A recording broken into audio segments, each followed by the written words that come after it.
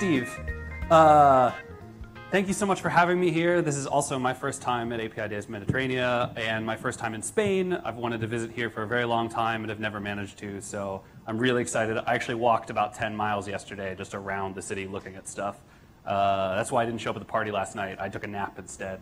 Um, so, uh, today I'm here to share with you a project of mine that I've been working on for a couple of years now. Um, it's called JSON API. As you can see, finally, since my computer is acting up. Um, I, uh, I live, I've lived in New York for about a year now, and more specifically, I live in Brooklyn. So I have certain like legal requirements when I visit other places. So I'm using the Moleskine uh, in handwritten notes rather than slides because there's a certain hipster quotient I'm required to fulfill to represent Brooklyn adequately to the rest of the world. Um, so I basically don't have very many slides. I'm not going to be like reading the spec to you or anything. I just put this page up there because I have some things I want to tell you about it, but largely I'll be speaking from my handwritten notes. This has nothing to do with my computer not working, of course. Uh, I've sort of slowly been transitioning code talks without lots of codes into just reading out of a notebook, and it, it means that computers don't get involved, which means it works much better. So, um, okay, so this talk is split up into three separate parts. Um, they sort of build on each other. I sort of go from the most abstract to the most concrete aspects of doing this. So the first part is the theory of JSON API. The second part is the history of JSON API. And the third part is the practice or the current status of JSON API. Um, if you're not familiar with me or my work, um, I historically have done a lot of work in the Ruby and Rails community. I actually have a, a Ruby tattoo. Um, I also have a Perl camel too, if you like Perl a little bit better. Um, and, uh, but nowadays, I work for Mozilla on the Rust programming language. So uh, we got a couple weeks, less than two weeks until 1.0 for that. So that's what I'm doing these days. Um, my work on Rails is what got me interested in APIs and HTTP in the first place. I'll talk more about that in a minute.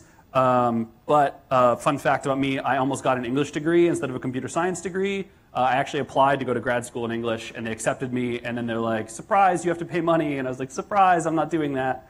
Uh, so I didn't actually get my degree, but oh well, I still read all those books and sound like an English grad student sometimes. I apologize in advance. Um, okay, enough, enough backstory stuff. Let's talk about um, the theory of JSON API first. So, uh, as I mentioned before, Rails got me interested in APIs and HTTP. And I think that Rails has done a significant amount of good for the world of computers and APIs, and also a significant amount of terrible things to the world of computers and APIs. If you're not familiar with Ruby on Rails, uh, this topic is not super specific to Rails, but um, I'm going to talk about it a little bit up here at the front. I apologize if you if you don't like Rails or if you know this already. Um, but Rails is sort of defining characteristic. What makes it special as a web framework is this idea of convention over configuration.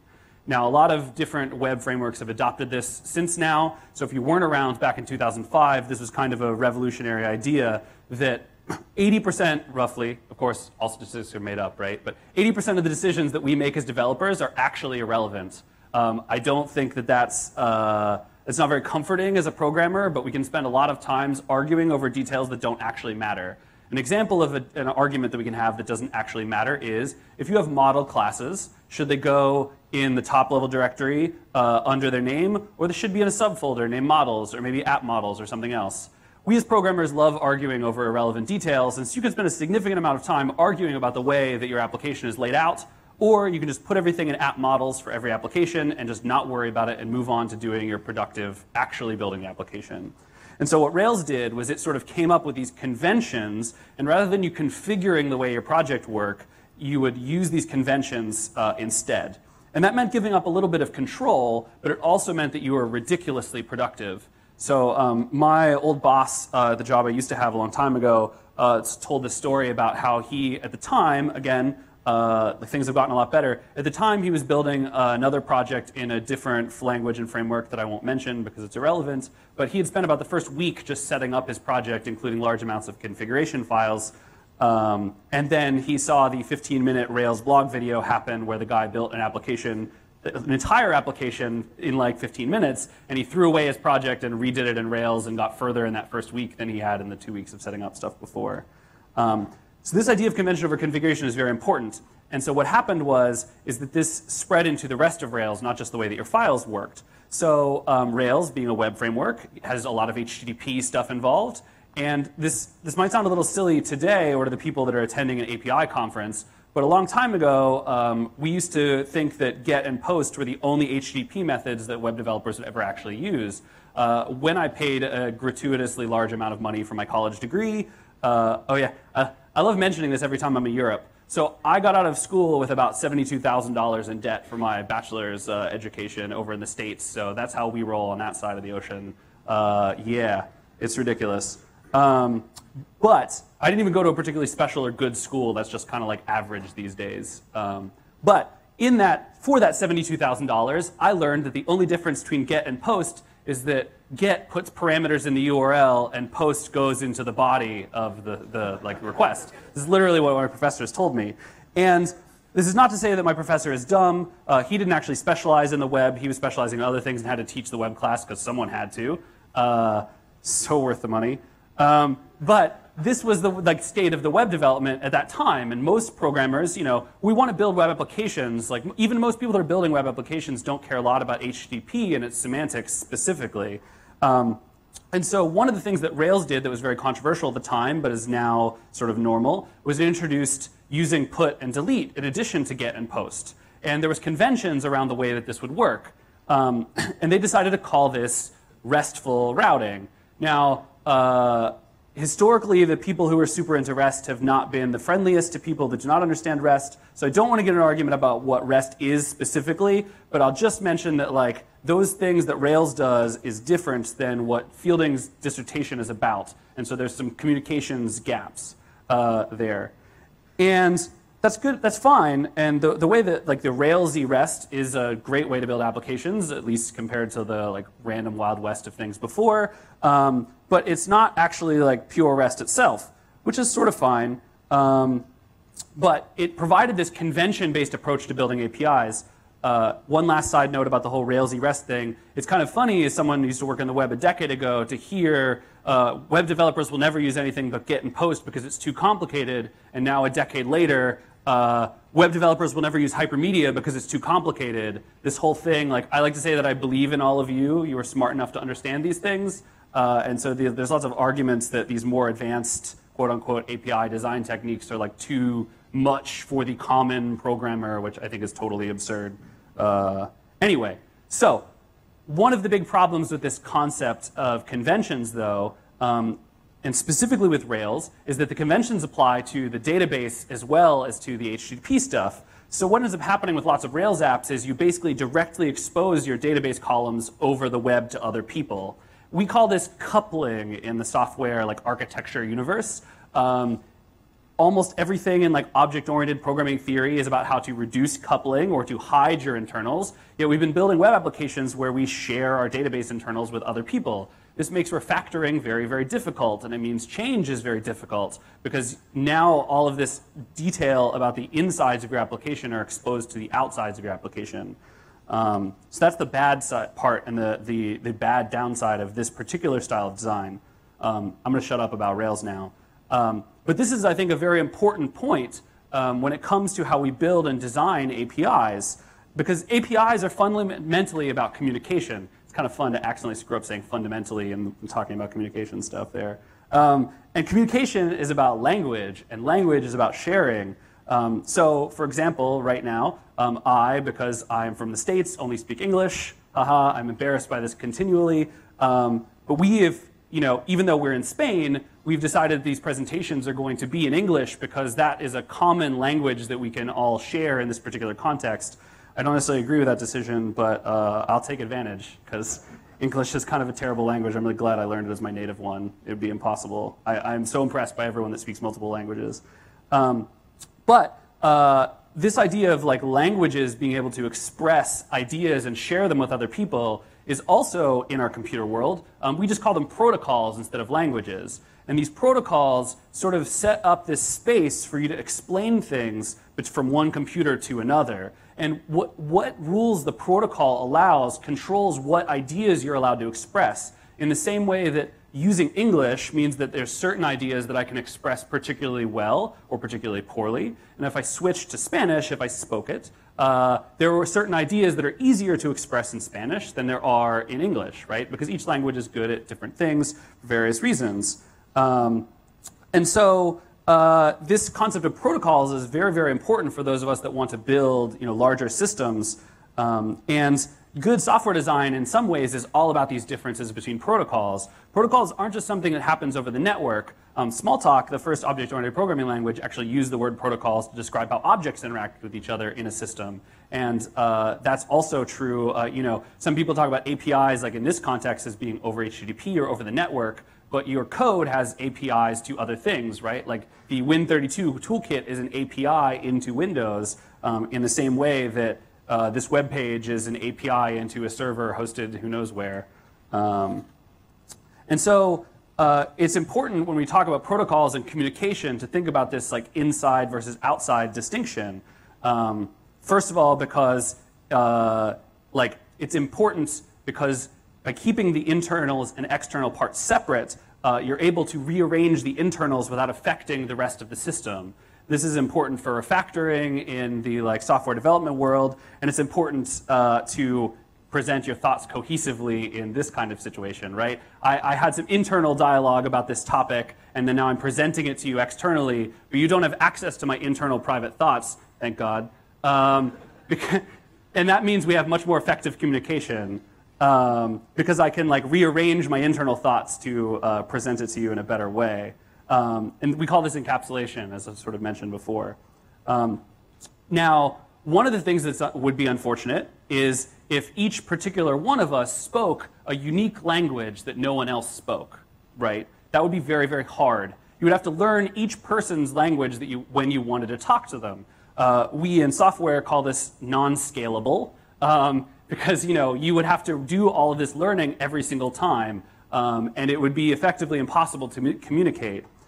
But while that sounds absolutely ridiculous in this like human languages sense, that's the way that we build APIs today. Every single service that you want to interact with uh, has its own special, bespoke, artisanal, handcrafted, free-range, uh, conflict-free, hopefully, language and API implementation. And what this means is that every time you want to interact with a new API, you have to rewrite a brand new client that speaks its particular flavor of whatever thing it is that you're building.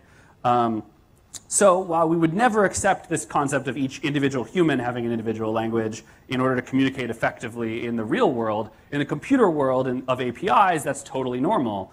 And it's true that, that they're not completely different, right? Like as mentioned before, we still all use HTTP. Uh, a lot of people use, like, I would bet if you put JSON and XML together, you would have 99.999% of all the public APIs. I did actually once work with a service that exposed YAML as its media type.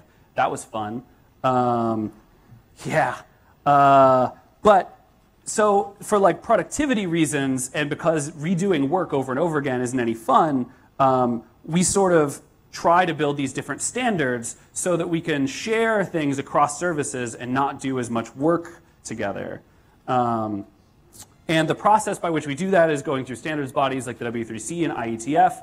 I don't really have a whole lot of time to talk about them a whole lot more, except you should get involved in the web standards bodies and the various API standards bodies. Uh, arguing with people over the internet, over email, is maybe not the most productive use of your time, but it sort of affects your everyday life uh, because they are the people that set the rules for what you are allowed to do with your APIs over the networks. And so I would encourage you to get involved with standards bodies. Um, okay, enough theory. Let's move on to the actual history of this project that I have yet to define uh, specifically.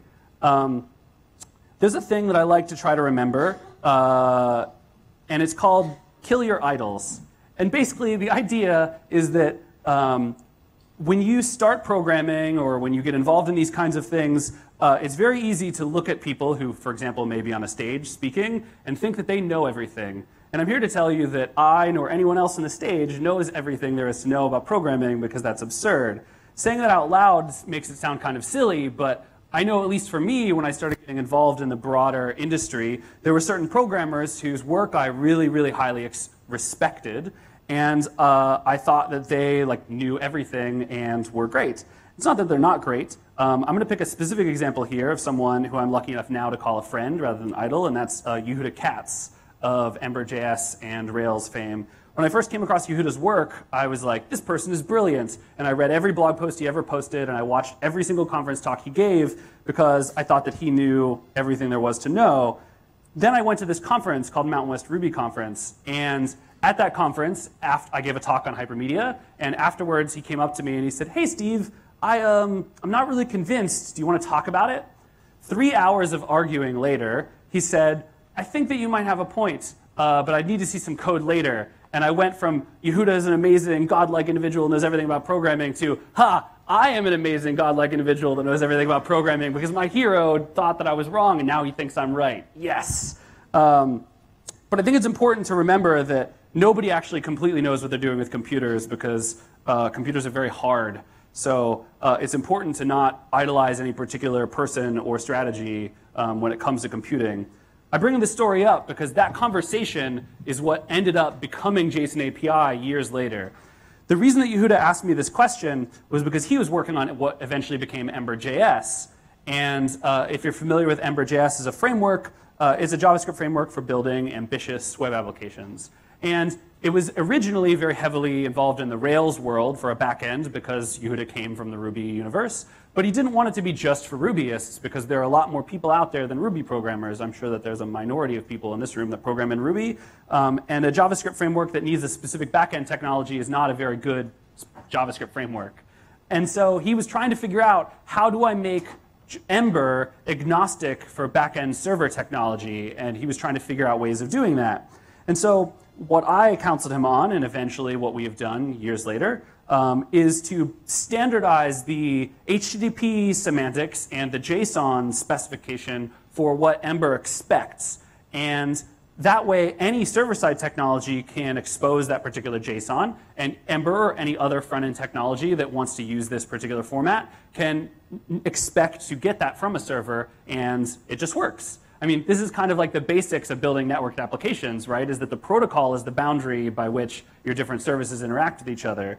Um, and so this is what we did with JSON API. Now that's the history of how this project worked, but it has since grown to significantly larger than the Ruby world and the Ember world. Um, the server-side technologies are currently much more diverse than the client-side technologies. But for example, I spent the better half of last year working for a company that used Python as a back-end stack and exposed JSON API. So it's even though I'm presenting it as this like Ember plus Ruby thing, it's actually not specific to that whatsoever. Um, but what we decided to sort of do was to take this concept of configuration over convention for Rails and apply it to APIs. So again, every particular tech, like there's no one answer to any technical solution. So we decided to pick a particular strategy and execute on it well rather than trying to be appropriate for every single API in existence. So um, JSON API as a standard is specifically useful for the pattern of um, I have some objects on my server, I would like to share them with a client. How do we go about doing that? And that happens to be useful for the single page web application usage, but also in other like service, uh, non-JavaScript applications um, as well. And so we sort of decided like coming up with brand new JSON responses every single time is a whole lot of work. And it's fun to argue over the minutia of how your JSON is laid out, but it doesn't actually matter in like 99% of the instances. Um, we have a rule, uh, like a maxim in the programming world about these kinds of arguments. They call them the bike shedding rule. Uh, technically, the bike shedding rule is called Parkinson's law of triviality, which is incredibly trivial, so that makes me laugh every time I think about the difference between those names. But um, it's called bike shedding because the concept is it's significantly easier to argue about the color that a bike shed should be painted than it is to argue about the architecture of that bike shed in the first place. And so significantly more people will get involved in more trivial decisions. And generally speaking, the more trivial the decision, the more arguing people will do about it. Now, when I was preparing for this talk, I went on Google Images uh, and I searched for bike shed. And since then, it's changed slightly because Google search results change, but bear with me anyway. Uh, this one looks a little more reasonable, but when I first did this search, this was the first image on Google search results for bike shed, the second one over here. And I looked at it and I was like, that's not a bike shed. And I went, oh, damn it, I'm literally doing bike shedding about actual bike sheds. Um, it's like a place you can store bikes. Of course, it's a bike shed. Um, but we as programmers love to do this. And um, one area that I've seen JSON API have a lot of uptake that I didn't initially think about, but makes perfect sense, is consulting companies. So consulting companies are often called in to build an API for a particular client, and so they don't get to just have the arguing over JSON conversation for every new release that comes out, like if you work at a product company. They get to have it every time they take on a new client. And uh, if you're doing well as a consulting company, that's pretty often. And so um, I've seen a lot of interest from people um, in using JSON API uh, in a consulting context, specifically because they can make similar APIs across all their projects and stop arguing about irrelevant details. Um, now, on the topic of irrelevant details, I have two fun things to show you about JSON API that are kind of like secrets. Um, one of them is the name. Uh, so when it came time to pick a media type that existed, uh, or to make a media type, sorry, that did not yet exist, um, we, we, had to sort of pick a name for this project. And uh, we decided to call it JSON API uh, because no one had taken that name yet, basically. And uh, I think that JSON API is good for, again, we'll say 80% of APIs, but I don't think that it's appropriate for all of them. But there's a certain kind of programmer who, when you have a name that's this generic for something that's only 80% of things and not 100% of things, gets very, very upset. And the benefit is that when programmers get upset, they talk about it a lot. And so there's like specifically two or three people I can think of that actually like the spec but hate the name, and so they talk about it endlessly. And I even told one or two of them on point, like, thank you for doing my marketing for me, man. Like, even if you criticize it all the time, please keep linking to this URL and saying how dumb the name is because you're still spreading my URL anyway. Um, the second one, and this is my favorite, is a little less obvious, is if you note the logo isn't actually valid JSON. Um, when we made the logo, we included the quotes around the JSON and the API, but it actually looked a lot worse, like visually speaking. And so we decided to remove the quotes because it looks a little better, but it, it like I, I, just love it's like an Easter egg that like the, the it's not actually JSON. So the spec is actually JSON. It's a superset of JSON. It, it functions the same way as JSON is, but like the look of the logo, I just smile every time I look at it because it's just so funny to me.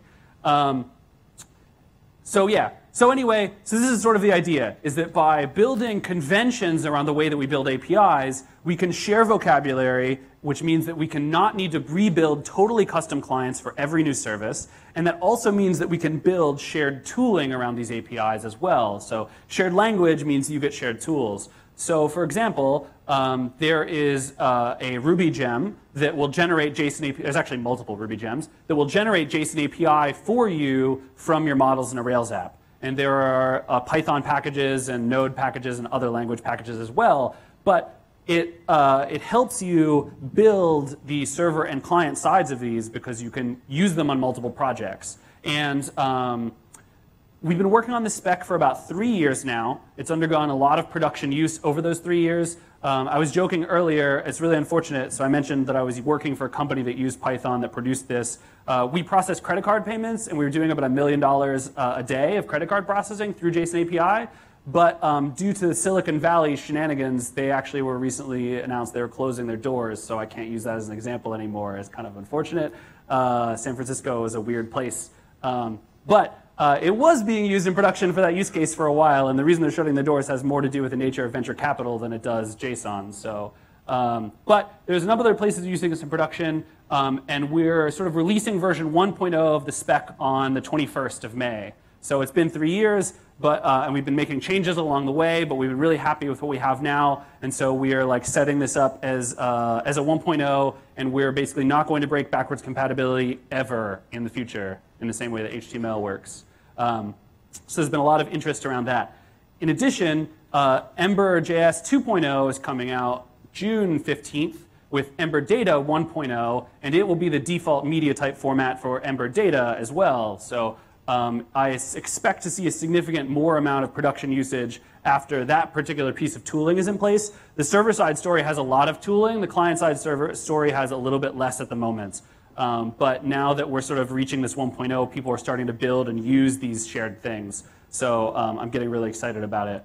Um, the last thing I want to say about JSON API uh, is that, maybe not the last, I'll have to double check, triple check my notes, but I have a couple minutes left, uh, is that JSON API, the reason this is in the hypermedia track is because JSON API encourages but does not require the usage of hypermedia in your API. So we sort of have this gateway drug mode where you can like, you don't have to use it at first, but there's advantages if you do. And we think that when you use those, you'll see the advantages and eventually switch over. So um, it's sort of an optional but encouraged component of this specification to use hypermedia. Um, so that's also uh, an example of just the practical work that I've done um, towards hypermedia stuff.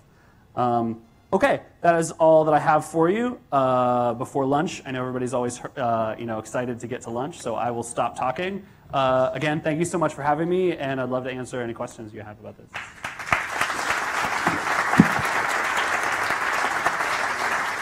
Assuming we have time. Yeah, we, we have time. We have Okay. time. Uh, but just uh, you know, we we we follow the Spanish time, so we, we eat later. Ah, okay. I knew there was a break. Yeah, I- it's a break. It's a break. It's I true. travel so much that I actually don't have a metabolism anymore. I eat at weird times anyway, so it's you know. But we will have uh, coffee and, and things to eat. Yeah, yeah. But uh, Do we get a nap in the afternoon? Yeah. No. for the one who wants, but no, no. yes, we have time for questions. Yes, we have a quite time for a question. Yeah. Yeah, hi. Hello. Um, I'm a Rails guy, by the way, Sweet. so uh, nice to meet you. Um, how popular is um, this particular implementation of JSON APIs, let's say on GitHub, or like how broadly accepted is it? How many contributors or? So uh, one of the weird things about working on a specification is that you never quite know. So like I have a lot of people who have come up to me at conferences and said, "Hey, Steve, thanks. I built four APIs using JSON API last week." And I'm like, "Why didn't you email me a link to them sometime?" So I'm like constantly finding out about new people that are using it and people that are not. Um, I, I will say that uh, this is not like you wouldn't be answer asking me that question if it was incredibly well used, right? Because you would already know about it. So uh, there's definitely like a, a relatively small amount of usage from the like broad world of APIs, but we have a lot of people who are interested after 1.0. So there's been a lot of people who are saying like, I love the idea of this spec. I plan on using it. I'm not going to even read it until after you say that where it's not it's not going to be changing at all anymore. So we're sort of like on the cusp of starting to encourage people to like actively put out products with this. So for that part of the, the life cycle of a project, I think that it has a relatively large amount of adoption. But in terms of like the broad universe, not that much. Um, but Yehuda and I have been like explaining this to people, and we're working on more examples and tools, and so like it is only growing. Yeah. Okay, and um, as far as I got you, um, Ember.js is consuming this like some sort of natively. Um, yeah. The default tooling will know how to consume this, and it will be the default format it expects with the next release. Okay, cool. Um, but Ember.js isn't like it, it had some sort of um, popularity drop against Angular, doesn't it? Uh, I don't agree with that, but it's also internet arguing. I don't know. It's like Okay, maybe we talk later. yeah, totally. We can talk about that later about Ember versus Angular. Uh, Yeah, Ember versus Angular. Great, great debate. Um, yeah, what's a question here? Yeah, hi. Yeah. Hi, Steve. Uh, I'm Matt. hey, Uh, we'll talk later uh, more details, but I quickly overlooked the forma, format page of Uh-huh. the JSON API spec, and it kind of uh, reminded me the JSON LD and collection plus JSON. sure. Uh, could you give us some insights about the quick differences between those JSON LD, JSON API, collection plus JSON? Yeah. So every single one of the various, there's, there's a ton of different formats that are sort of like JSON with some hypermedia involved. And each particular one of them has sort of chosen what they're going to be good at. So JSON LD uh, specifically is trying to sort of um, I, I don't. I'm not a fan, the biggest fan of JSON LD, so I try to represent it accurately instead of trollily. They're trying to reinvent the semantic web without the bad parts of the semantic web in JSON, right? So, uh, so they're really interested in this idea of ontologies and like linking ontologies to data and stuff. That's not an approach that I am a particular fan of, but some people are, and that's their thing. Collection, collection plus JSON uh, is specifically trying to sort of be the new Atom. They're focused on here's a collection of things, let's manipulate that collection, right? Uh, HAL is attempting to be this minimal hypermedia addition to JSON. Um, so what you sort of need to do to evaluate between all of these different formats is to sort of figure out what you're trying to do with your API, look at the reason that each spec has developed, and pick the one that aligns the most closely with the thing that you're trying to accomplish. So for example, I think that collection plus JSON is fantastic for things like search results, because that's generally a collection of things that you want to sort and filter and do stuff like that. Um, so JSON API is sort of like one sentence reason to exist is I have objects on the server, I'd like to send them to a client, and I'd like the client be able to do CRUD on them. So if that's the kind of thing that you're doing, this might be better for you than other approaches. If you're doing something else, one of those other specs might be better. It depends on what you're doing. Question here. Hi. Uh, is there any plan to support write actions? Yeah. So writing, so all of the standard CRUD style stuff is the sort of bread and butter of this spec. So um, updating things and updating them efficiently. So we have, for example, semantics for massively updating multiple records at the same time and things like that. Um, yeah, so that's a that's a big part of this, definitely. One more question. I will take it. Uh, Cool. You know the the, the payment um, the payment company that was using JSON API. Yeah. Uh, why you told me they reach you to say oh, we we like uh, JSON API and and we want to use it. What was the let's say the in the I would not say business or technical arguments really about choosing JSON API and, and wanting to have you implement it like for them for a payment company. Yeah, yeah. So for a payment company using JSON API, basically um, the company's name was Balanced Payments, if you want to look them up. Uh, and basically, the, the, the reason, the thing that attracted them um, about this is that they are very heavily invested in the concepts of standards and like working towards shared open source stuff. Um, we had a, uh, especially in payments, uh, one of the big problems is that everything is like closed source and private, and there's ridiculous arcane rules around payment stuff. I mean, not all of them are ridiculous, but like there are definitely uh, lots of them. And so Balance as a company was trying to add a lot of openness to the payment space. So a significant amount of our code was open source, and we are very interested in like working with open standards and making the payment space, generally speaking, more open. So when it came time to build an API, they were like, what standards exist in the API space? And they saw what we were doing and liked it, um, basically. Um, so it was part of the general philosophy of openness. Um, as one small example of how that worked in another context, all of our product roadmap and feature development was done through GitHub issues in public. Um, and so that was kind of the like uh, reason that they were using us. Okay. So thank you for transparency. So thank you, Steve. Um, thank you. Some applause for Steve, please. Thanks so much.